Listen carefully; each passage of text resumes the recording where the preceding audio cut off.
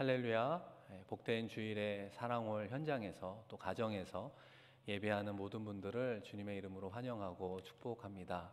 이 성탄이 가까이 오는 예, 시기이잖아요. 우리 한번 예배하는 분들과 함께 우리 성탄 인사도 한번 해보도록 하겠습니다. 한번 바라보시면서 메리 크리스마스.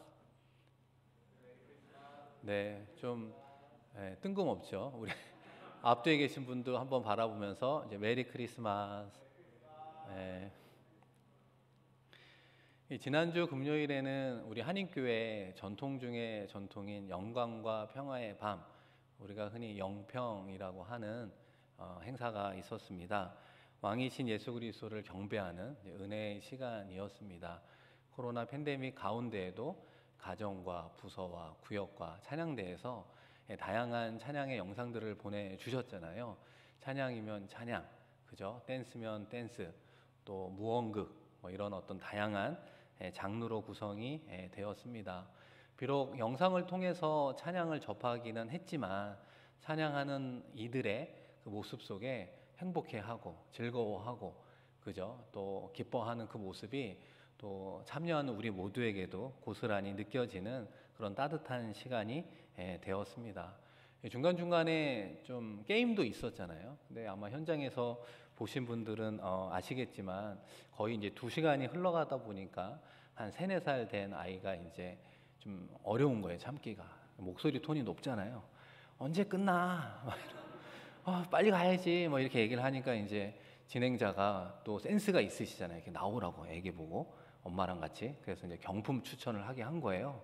근데 아기가 경품을 추천했는데 예, 사랑원에 오신 분들의 성함이 있었거든요. 누구 이름을 뽑았을까요? 자기 엄마 이름을 뽑은 겁니다.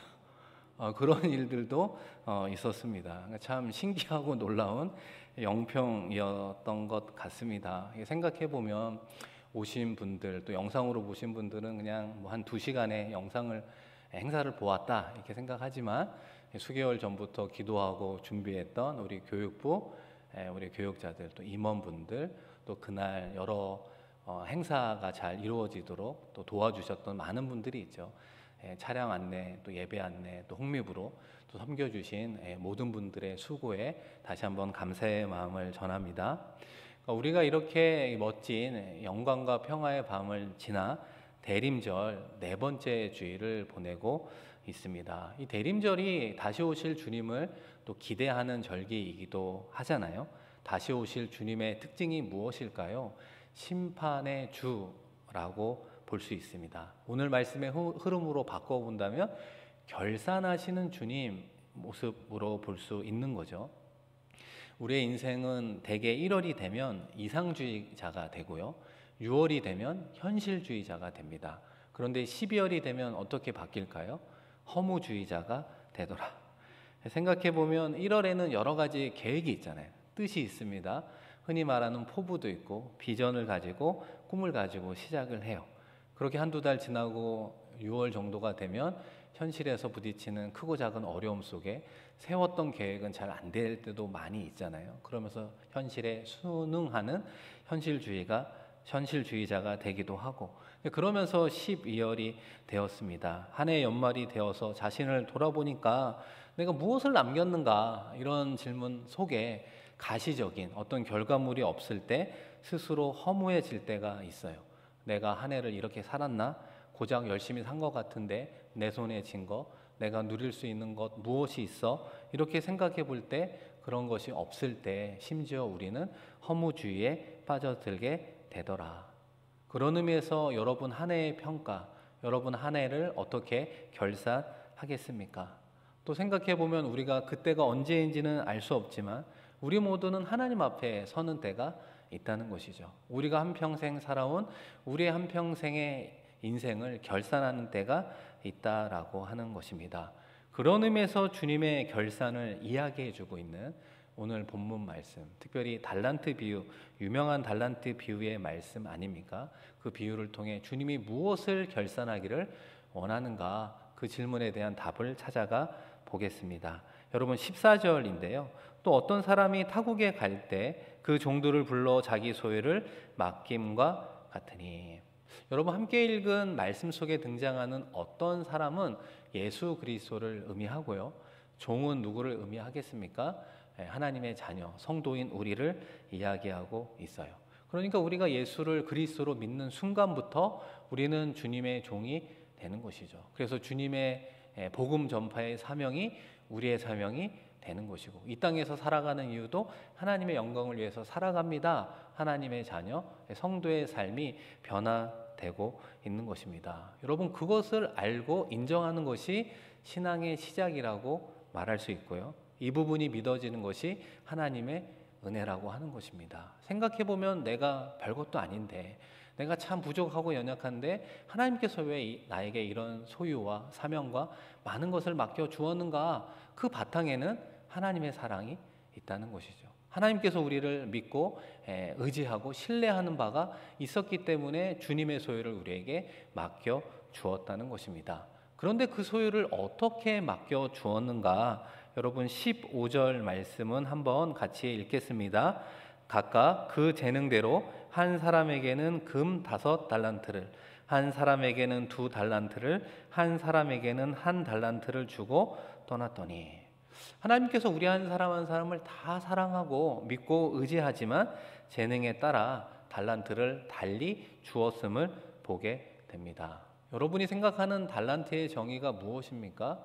하나님께서 우리에게 주신 모든 것. 저는 그것이 달란트의 정의라고 생각합니다. 여러분이 하나님으로부터 받은 것이 무엇이 있습니까? 그것이 사랑일 수도 있고 믿음일 수도 있고 앞서 말씀드린 사명일 수도 있죠. 더 나아가 하나님께서 우리에게 주신 건강과 시간과 또 은사와 재능과 능력 정말 그 모든 것이 달란트라고 말할 수 있습니다. 그래서 하나님은 어떤 사람에게 목회자의 은사와 사명을 주셔서 목회를 하게 하고요. 또 하나님은 어떤 사람에게는 교회의 직분자로 또 교회에서 다양한 모습으로 섬길 수 있는 은사와 재능과 사명을 주셨습니다. 우리가 찬양대에서 또 찬양하는 분들 가운데 찬양의 은사가 있다고 이야기하잖아요. 또 어떤 사람에게는 정치인의 달란트가 있을 수 있고 경제인의 달란트, 과학자로서의 달란트를 주셨다라고 하는 거예요.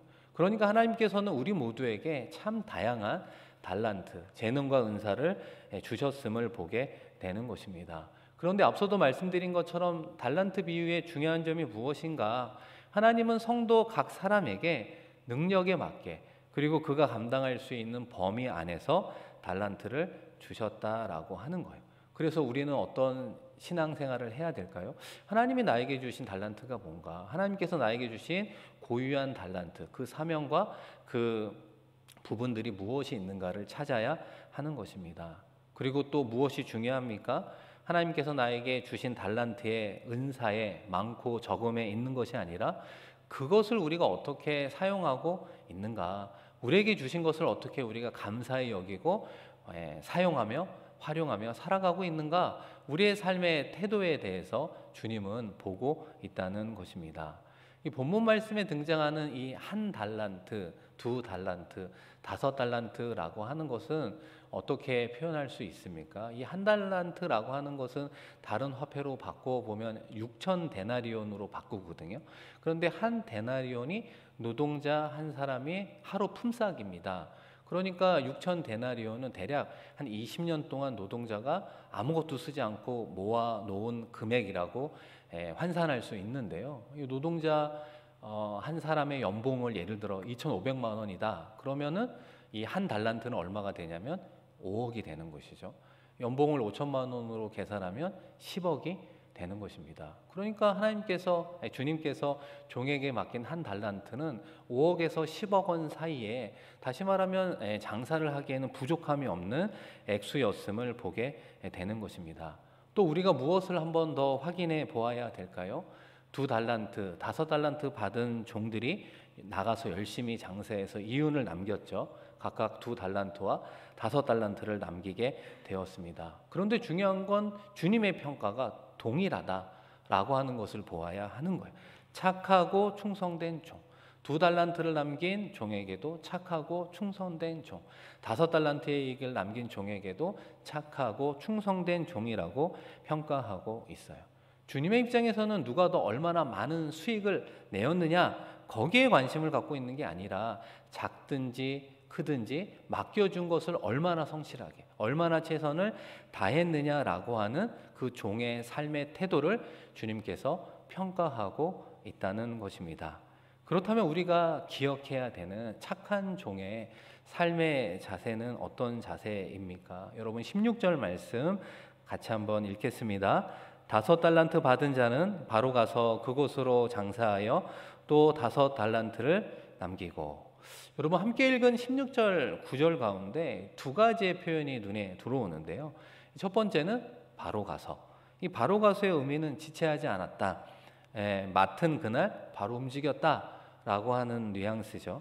두 번째는 장사하여라고 하는 겁니다. 자신의 능력과 재능을 발휘하여 책임을 다하는 모습을 보게 되는 것이죠. 그러니까 주인이 그에게 맡겨준 달란트를 가지고 지체하지 않고 바로 장사하여 주인의 뜻에 부합되는 행동을 했다라고 하는 것을 봅니다. 사랑하는 성도 여러분, 오늘이 며칠입니까? 2021년 12월 19일이잖아요. 혹시라도 오늘이 한 해의 결산일이라고 한번 생각해 볼까요? 2021년 한 해를 뒤돌아보며 한 해를 결산할 때 여러분의 기준이 되는 날은 무슨 날이 되겠습니까? 제가 생각하기에는 2021년 하루하루를 우리가 어떻게 보냈느냐, 내가 보낸 하루의 평가가 쌓여서 한 해의 결산이 되는 것이 아니겠습니까? 그런 의미에서 우리의 인생이란 거창하거나 사실 멀리 떨어져 있지 않습니다.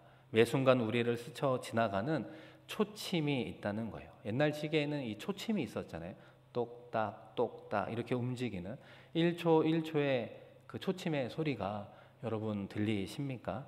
1초가 쌓여서 1분을 이루게 되는 것이고 그 분이 모여서 시간을 이루게 되는 거고요. 시간이 쌓여서 하루가 되고 하루가 지나서 한 달이 되고 한 달이 지나서 지금의 12월 한 해가 되는 것입니다.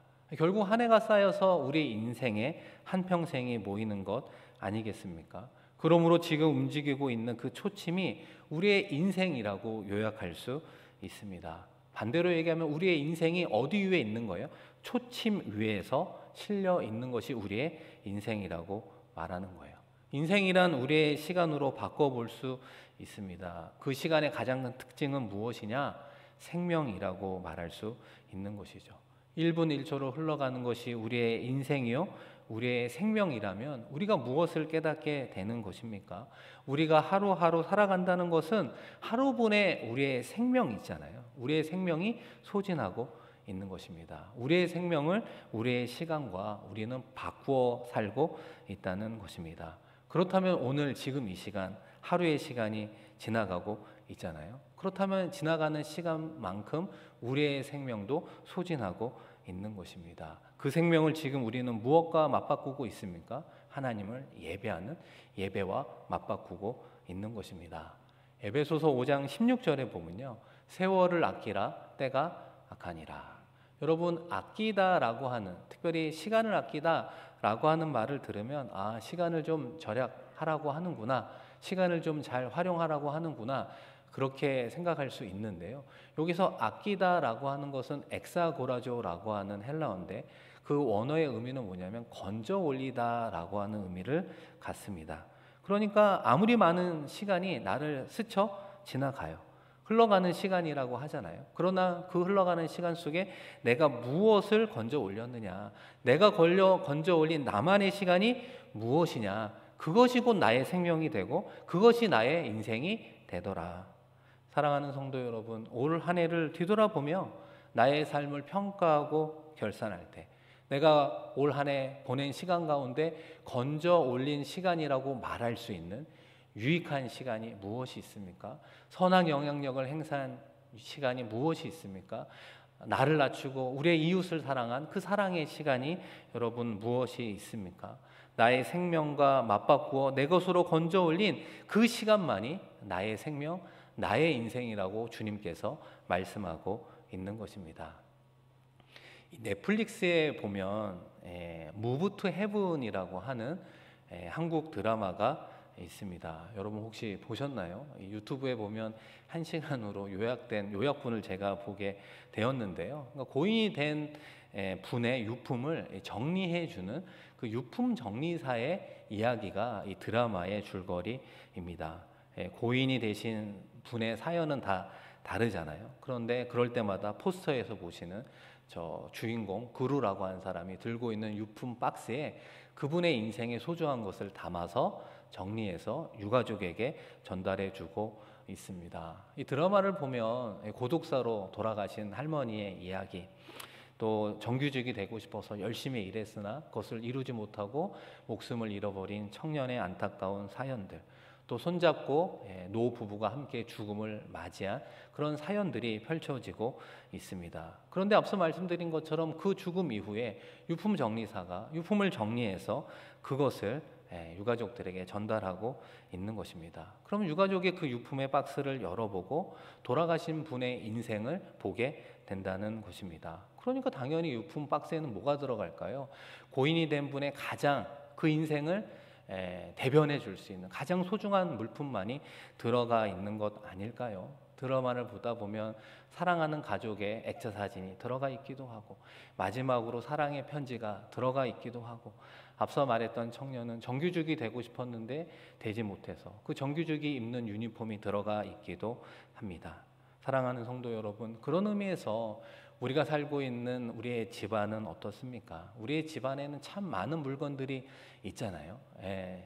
옷장을 열어보면 옷이 없다고 해도 그 많은 옷들이 눈에 들어옵니다. 신발장을 열어보면 이렇게 신발이 많았나 생각이 들기도 해요. 우리가 살고 있는 집안에 어느 문을 열어보아도 부족함이 없고 넘치는 모습들을 보게 됩니다. 그래서 이사할 때마다 그 미니멀 라이프를 꿈꾸며 많은 짐을 줄이지만 또 시간이 지나면 어느새 그 빈 공간들을 다른 물건들로 채우고 있음을 보게 되는 것이죠. 오늘 말씀의 흐름으로 본다면 나의 생명과 바꾼 시간을 가지고 나의 생명과 바꾼 그 물질을 가지고 나는 올 한 해 어떻게 보냈고 무엇을 구입하고 있었습니까? 우리의 죽음 이후에 그 많은 살림 가운데 그 유품 박스에 들어갈 수 있는 여러분만의 가장 소중한 물건은 무엇이라고 생각합니까? 만약에 오늘 내가 하나님의 부르심을 받는데 그 부르심 받기 전에 빈 유품 박스를 여러분에게 주었을 때 여러분의 인생 가운데 내가 그곳에 담을 만한 여러분의 인생을 대변해 줄 수 있는 물품들이 무엇이 있습니까? 우리가 한번 생각해 보면 좋겠어요. 저도 말씀을 준비하면서 과연 나는 어떤 그 박스에 나의 유품을 남기게 될까 생각해 보니까 제가 지금 들고 있는 이 성경책 그죠? 목사 안수 받을 때 받은 성경책이었거든요. 지금까지 계속 사용하는 그 성경책이 들어가지 않을까. 그리고 또 하나 생각하면 테니스 라켓이 들어가지 않을까. 아, 제가 테니스를 좀 좋아하거든요. 근데 좀 길어서 그게 들어갈지는 모르겠지만 어쨌든 들어갈 수 있지 않을까. 여러분도 한번 생각해 보시면 좋겠어요. 그 유품 박스에 과연 나의 인생을 대변하는 어떤 물건들이 그 안을 채울 수 있을까? 정말 중요한 것으로 채우는 인생을 살아가고 있습니까? 한 해의 결산을 만들어가는 그 하루의 중요성을 우리는 어떻게 깨닫게 될까? 앞서도 말씀드린 것처럼 이 죽음을 통해서 우리는 어, 인생의 시간의 중요함을 깨닫게 돼요. 특별히 사랑하는 가족의 장례를 치른 분들은 공감할 수 있습니다. 내가 숨 쉬고 있고, 내가 예배하고, 내가 살아가는 이 시간, 그 시간은 사랑하는 우리의 가족이 누려야 될 시간이었잖아요. 그런데 고인이 되고 누리지 못한 그 시간을 우리가 덤으로 받아서 살아가는 인생임을 깨닫는 사람이 오늘의 시간에 충성되고 최선을 다하는 삶이 되는 것이죠. 더 나아가 우리의 삶의 끝이 있다는 진정한 의미가 우리의 가슴으로 들어와야 되는 것이죠. 날마다 그 끝이 있음을 깨닫고 묵상하는 사람, 가슴으로 느껴보는 사람만이 오늘 우리에게 주어진 하루의 그 시간이 진정한 하루가 되고 진정한 의미의 하루가 되는 것입니다. 그런 하루가 쌓여서 한 주가 되고 한 달이 되고 한 해가 되었을 때 비로소 아름다운 결산이 이루어지더라. 사랑하는 성도 여러분, 그러나 우리가 만약에 그것을 깨닫지 못하고 말씀 속에 등장하는 한 달란트 받은 종처럼 그것을 하찮은 것으로 여기고 땅바닥에 묻어두고 무관심하게 살다가 결과적으로 주님 앞에 악하고 게으른 종이라고 평가를 들었던 그 삶으로 우리도 전락할 수 있음을 기억해야 되는 것입니다. 앞서도 말씀드린 것처럼 주님이 우리 모두를 사랑해 주시지만 그 하나님의 소유를 각자에게 맡겨 주시되 분량이 다르게 맡겨 주시는 것입니다. 하나님의 공평은 각자의 분량에 맞게 주신다라고 하는 거예요. 그런데 세 명의 종들 사이에 무엇이 일어났습니까? 보이지 않는 분쟁, 보이지 않는 시기와 질투가 일어났던 것 같아요. 특별히 한 달란트 받은 종의 마음 속에 그런 시기와 질투가 생겼던 것 같아요. 아마 무엇을 보았을까요? 두 달란트 받은 종의 두 달란트, 그리고 다섯 달란트 받은 종의 다섯 달란트만 보게 되니까 어떻게 하게 되는 겁니까? 어, 같은 종인데 나는 왜 한 달란트? 저 사람은 왜 두 달란트? 왜 저 사람은 다섯 달란트? 라고 하는 비교 의식 속에 실망하고 말았습니다. 이참 비교 의식이 묘한 데가 있습니다. 많지 않은 소수의 모임 속에 이 보이지 않는 비교 의식들이 우리를 힘들게 할 때가 있다는 것이죠. 특별히 비슷한 사람들, 동료들 사이에 그런 비교 의식이 작동하게 되는 거예요. 그래서 나에게는 없지만 저 사람에게 있는 저런 능력, 저런 달란트가 나에게도 있으면 좋겠다 생각하며 예, 열등감을 표현하고 있습니다. 그것이 심해지면 불평과 불만을 하게 되고 더 심해지면 비교 의식의 덫에 걸리어 열등감을 느끼며 살아가게 되는 거예요. 내가 분명히 중요한 사람임에도 불구하고 상대적인 박탈감에서 헤어나오지 못하더라. 이 성경에 보면 이런 비교 의식으로 인해서 불행한 왕이 한 명 있습니다. 여러분 누굴까요? 사울 왕이라고 하는 거죠. 한 나라의 왕이 얼마나 높은 자리입니까? 일반 서민 백성들은 꿈꿀 수 없는 최고의 권력. 그래서 그 모든 것을 누릴 수 있는 자리가 왕의 자리 아니겠습니까? 그런데 제가 보기에는 사울 왕이 불행하기 시작한 것은 바로 블레셋 전쟁 이후에 백성들의 평가를 듣는 순간부터였습니다. 백성들이 어떻게 평가했죠? 사울을 사울이 죽인 자는 천천히요, 다윗은 만만이로다. 이 평가에 사울은 불쾌히 여겼다라고 이야기하는 거예요. 사울 왕의 높이는 사회적으로 이렇게 높고 그죠? 이 무명의 다윗은 이렇게 낮은 사람임에도 불구하고 이 두 사람을 비교하고 평가한 그 평가의 소리가 사울 왕을 불행하게 만든 것입니다. 얼마나 행복할 수 있었던 왕이었으나 비교 의식의 덫에 빠져 불행한 왕으로 전락하고 말았습니다. 싱가포르에 계시는 분들 어떻습니까? 이 대체로 부러울 곳이 없을 정도로 많은 것을 갖추고 또 많은 것을 누리며 살고 있는 분들이 많은 것 같아요. 그러나 이야기를 좀 들어보면 그 내면 속에 그 행복감이 적은 분들이 더러 있습니다. 왜 그분들이 행복감이 적을까요? 내가 부족해서, 내가 가진 것이 없어서 그렇습니까? 그럴 수도 있지만 더 큰 문제는 무엇이냐? 다른 사람과의 비교로 인해서 상대적 박탈감이 생기더라. 그렇게 되면 내가 갖고 있는 것으로 느끼는 행복은 예, 행복감은 떨어지게 되는 것이죠. 상대방이 갖고 있는 것으로 인한 나의 불행감이 더 커지게 될 수밖에 없는 것입니다. 이렇게 비교 의식의 덫은 우리 모두를 너무나 쉽게 행복에서 불행으로 떨어뜨릴 수 있다는 사실입니다. 남의 달란트, 재능, 은사 그것을 부러워하면서 우리의 인생의 소중한 시간을 허비하지 마시고 나도 하나님께서 좋은 달란트, 재능과 은사를 주셔서 그것을 발견하고 인정하고 그것에 최선을 다할 때, 그것에 베스트를 만들어 갈 때 하나님께서 우리를 행복하게 만들어 주시는 것입니다. 사랑하는 성도 여러분, 그렇다면 우리가 어떻게 이 비교 의식에서 벗어나 자유로울 수 있을까요? 그것은 두 달란트 받은 종의 행동을 통해 알 수 있습니다. 이 두 달란트 받은 종도요. 생각해 보면 다섯 달란트 받은 종과 비교할 수 있었잖아요. 비교했더라면 동일하게 시기하고 질투하고 실망할 수 있었습니다. 그런데 두 달란트 받은 종의 행동이 우리에게 무엇을 말해주고 있습니까? 여러분 16절 말씀에 보시면 다섯 달란트 받은 자는 바로 가서 그곳으로 장사하여 또 다섯 달란트를 남기고 앞서 보았던 말씀이죠. 이어지는 17절에 이제 두 달란트 받은 사람의 행동인데요. 한번 같이 읽어보겠습니다. 두 달란트 받은 자도 그같이 하여 또 두 달란트를 남겼으되. 여러분 17절 말씀이 짧지만 축약된 표현들이지만 우리가 두 달란트 받은 종의 행동을 볼 수 있습니다. 이 두 달란트 받은 종은 다섯 달란트 받은 종의 다섯 달란트를 바라본 것이 아니었습니다. 무엇을 바라보았죠? 다섯 달란트 받은 종의 행동을 바라보았다라고 하는 거예요. 그것을 어떻게 표현합니까? 그같이 하여. 그같이 하여가 뭐예요? 아까 읽었던 16절의 표현처럼 바로 어, 가서 그리고 장사했다라고 하는 그 행동을 보고 예, 동일하게 했다라고 하는 것입니다.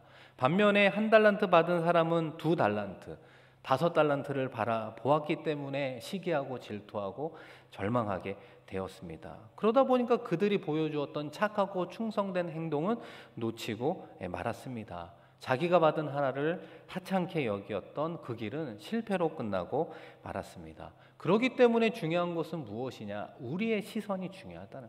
우리가 무엇을 바라보고 있는가? 그것이 비교 의식에서 벗어나는 자유함의 열쇠라고 말할 수 있는 것이죠. 다른 사람의 달란트와 재능과 은사의 크기를 볼 것이 아니라 그 사람이 달란트를 가지고 얼마나 열심히 살아내고 있는가, 성실하게 살아가느냐, 최선을 다하느냐라고 하는 삶의 태도를 보고 동기부여를 받아야 되는 것이죠. 혹시라도 나는 최선을 다하지 않는 것은 아닌가? 혹시라도 나는 성실하게 살아가고 있지 않은 것은 아닌가? 중요한 것은 무엇입니까? 하나님은요, 내가 가진 달란트를 소중하게 생각하고 최선을 다하는 사람의 인생을 성공하는 인생으로 만들어 주실 줄로 믿습니다. 그런 하나님을 우리가 믿고 의지하고 있잖아요. 여러분 누가복음 16장 10절 한번 같이 읽을까요? 지극히 작은 것에 충성된 자는 큰 것에도 충성되고 지극히 작은 것에 불의한 자는 큰 것에도 불의하니라. 아멘. 하나님께서 교회에 우리에게 어떤 직분을 맡겨 주었는가? 그것의 크기가 중요하지 않다는 거예요. 크냐 작으냐 중요하지 않다는 거예요. 여러분 사회에서 속한 모임과 직장과 일터와 학업과 다양한 곳에서 맡겨 주신 거 크고 작은 것이 중요하지 않더라. 감사한 마음으로 내가 임하고 있느냐, 최선을 다하고 있느냐, 하나님이 정말 나를 사랑하고 믿기 때문에 맡겨주셨음에 우리도 동일하게 충성되이 주님을 사랑하는 마음으로 최선을 다하고 있는가, 우리의 삶의 과정에서 보여지는 그 부분을 주님께서 높이 평가하고 있는 것입니다. 사랑하는 성도 여러분, 한 해를 뒤돌아보면 정말 열심히 살았는데 성과가 없는 분들도 있잖아요. 마음이 속상한 분들도 있죠. 최선을 다한 것 같은데 결과가 원하지 않는 결과 때문에 낙심한 분들도 있습니다. 주변에는 정말 열심히 기도했는데 왜 하나님 그 기도의 응답이 더디 일어납니까? 또 힘 빠지는 분들도 있습니다. 더 나아가 코로나 팬데믹 속에 정말 열심히 일하고 싶은데 그 기회조차도 주어지지 않아서 낙심한 분들도 있을 수 있습니다. 그러나 여러분, 하나님은 우리의 결과를 평가하기 이전에 우리의 과정을 보고 있는 것이죠. 우리에게 주어진 시간 속에 우리가 얼마나 성실히 최선이 최선을 다하며 주님을 사랑하며 살아갔는가라고 하는 우리의 과정을 먼저 하나님께서 평가해 주시는 거예요. 그래서 우리의 삶의 자리에서 성실했다면 우리가 최선을 다했다면 주님 사랑하는 마음으로 살아갔다면 괜찮습니다. 수고했노라 잘하였도다 충성된 종아 주님께서 칭찬해 주고 있는 것이죠. 우리가 바라는 그 결과는 오늘 지금이 아닐지라도 내년에 그 어떤 때에 하나님께서 가장 선하게 인도해 주실 것을 믿습니다. 사랑하는 성도 여러분, 여러분이 받은 은사, 축복의 분량이 얼마입니까? 혹시라도 그것이 적기 때문에 불평하거나 그것 때문에 하찮게 여기고 있습니까? 여러분, 하나님은 우리에게 가장 적당한 분량을 주셨습니다. 그리고 그 분량에 우리의 최선을 요구하고 있는 것이죠. 하나님의 성공의 법칙은요, 많이 씻는 자는 많이 거둔다는 것입니다. 우리가 많은 감사를 하면 더 많은 감사의 조건을 주시고요. 우리의 과정에서 더 많은 최선을 하면 최선의 아름다운 결과를 허락해 주십니다. 우리의 삶의 자리에 많은 기도를 드리면 하나님의 기도의 열매를 허락해 주시는 것이죠. 그런 의미에서 우리의 삶의 성공의 여건은 어떻게 요약할 수 있습니까? 그것은 바로 오늘이라고 말할 수 있어요. 내일도 아니고 다음 달도 아니고 다음 해가 아니라 바로 우리에게 주어진 오늘이라고 하는 시간을 어떻게 보내는가. 2021년 한 해를 결산하는 2주의 시간이 우리에게 남아 있습니다. 그 2주의 삶의 승패는 바로 오늘이라고 하는 시간을 내가 어떻게 보내느냐에 달려 있음을 기억해야 되는 거예요. 오늘 밤 여러분이 잠들기 전에 하나님 앞에 착하고 충성된 종이라 칭찬을 듣는 하루였다면 그 하루의 성공을 이루었다면 그리고 그 하루의 성공이 내일도 모레도 한 주로 2주의 삶으로 연결이 된다면 그것이 쌓인 우리의 한 해, 우리의 인생을 평가할 때 하나님은 동일하게 착하고 충성된 종이라고 말씀해 주실 것입니다. 오늘 우리에게 주어진 하루의 시간 앞에 다시 한번 하나님 앞에 착하고 충성된 종이라 칭찬 듣기에 부족함 없는 삶을 살아내는 우리 모두가 되기를 소망합니다. 이 시간 함께 말씀을 기억하며 기도하겠습니다. 2022년 한 해가 저물고 있습니다. 어느덧 12월이 다가왔는데요. 한 해를 뒤돌아볼 때 우리는 어떤 인생을 살았나? 우리의 시간의 관점에서 우리의 생명을 바꾼 시간의 관점에서 우리의 생명으로 산 물질의 관점에서 우리는 어떻게 보내고 어떤 물건들을 사며 살아가고 있었습니까? 하나님 앞에 서는 때 나의 유품 박스에 나는 무엇을 담는 인생일까? 다시 한번 생각하는 우리가 되기를 소망합니다. 주어진 시간 속에 정말 나는 어떻게 보냈습니까? 다시 한번 주님께서 원하는 착하고 충성된 종의 기준에 맞는 삶을 살아내겠습니다. 말씀 기억하며 간절히 하나님께 기도하겠습니다. 하나님 아버지 2021년 한 해도 주님의 은혜 가운데 벌써 12월 셋째 주일을 보내고 있습니다. 너무나 빨리 지나간 그 세월의 시간 속에 아버지 하나님 우리는 어떤 인생을 보냈습니까? 어떤 시간을 보냈습니까? 내 생명과 맞바꾼 시간 속에 우리는 무엇을 건져 올렸습니까? 우리의 생명과 맞바꾼 물질을 통해 우리는 무슨 물품으로 아버지 하나님 우리의 가정을 메워가고 있습니까? 하나님의 결산의 때가 있음을 깨닫는 우리가 되게 하여 주옵소서. 그 죽음의 시간이 다가오고 있음을 깨달으며 오늘이란 시간 속에 최선을 다하는 우리가 되게 하여 주옵소서. 주님이 얼마나 우리를 사랑했는가 구원해 주시고 구원해 주실 뿐만 아니라 이 땅 가운데 우리에게 사명을 주시고 건강과 시간과 재능과 아버지 안에 그 모든 능력과 많은 사람들을 우리에게 붙여 주셨음을 깨닫는 우리가 되게 하여 주시고 오늘이라는 시간 속에 최선을 다하며 살아갈 수 있는 우리 모두가 되게 하여 주시옵소서 내일로 미루지 않으며 아버지 하나님 오늘의 시간에 최선을 다하여 하나님 앞에 섰을 때 착하고 충성된 종이라 평가 듣는 우리 모두가 되게 하여 주옵소서 아버지 하나님 기도합니다 한 해를 뒤돌아보면서 열심히 했는데 최선을 다했는데 우리가 원하는 성과와 결과가 없을 때 열심히 기도했는데 기도의 응답이 더디어 힘 빠지는 분들도 있을 수 있습니다. 그러나 주님께서의 평가는 우리의 결과가 아니라 그 이전에 우리의 과정 과정을 보고 있음을 알게 하여 주셔서 우리의 과정 속에 최선을 다한 우리 들을 향하여 착하고 충성되다고 수고했다고 말씀해 주시는 주님의 음성에 위로받는 우리가 되게 하여 주시고 남은 이 주의 삶도 다시 한번 주님께서 원하는 삶을 살아내기에 부족함이 없도록 역사하여 주시옵소서. 오늘 주어진 시간 속에 다시 한번 최선을 다하는 우리들의 삶이 되게 하여 주시고 승리하는 삶이 되게 하여 주시고 아름다운 열매를 맺는 삶이 될 수 있도록 역사하여 주시옵소서. 아버지 하나님 감사합니다. 오늘도 이번 한 주도 아버지 하나님 한 해의 마지막 시간을 주님께 드려오니 주님 받아 주시옵소서.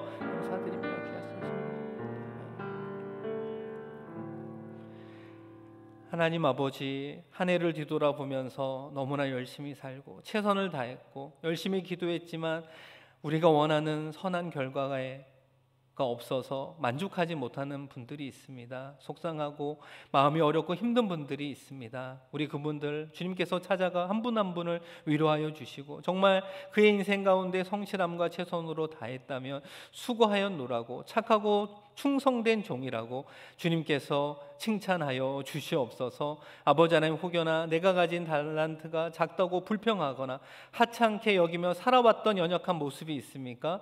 주님의 보혈로 용서하여 주시고 덮어 주시옵소서. 하나님께서 오늘 우리에게 주신 오늘이라는 시간을 통해 최선을 다해 하나님께 영광 올려드리며 살아가기를 소망합니다. 두 달란트, 다섯 달란트 받은 종들이 보여주었던 것처럼 우리에게 허락해 주신 모든 것들에 아버지 하나님 최선을 다하며 주님 사랑하는 마음으로 살아가는 우리가 되게 하여 주셔서 오늘이라는 시간 속에 주의 귀한 평가 듣고 그것이 한 주가 되고 한 달이 되고 한 해의 삶을 살아낼 수 있는 우리들의 삶이 되게 하여 주시옵소서 감사드리며 귀하신 예수 그리스도의 이름으로 축복하며 기도드립니다. 아멘.